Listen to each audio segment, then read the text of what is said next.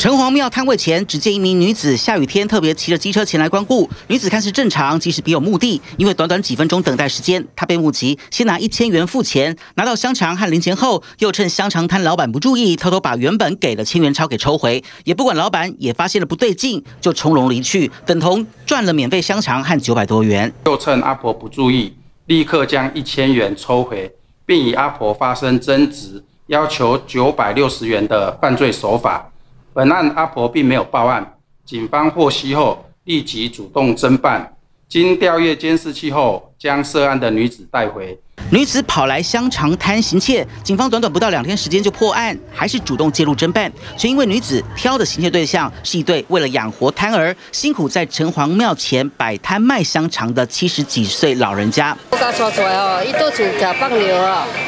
常常拢靠伊拢爱跋倒啦。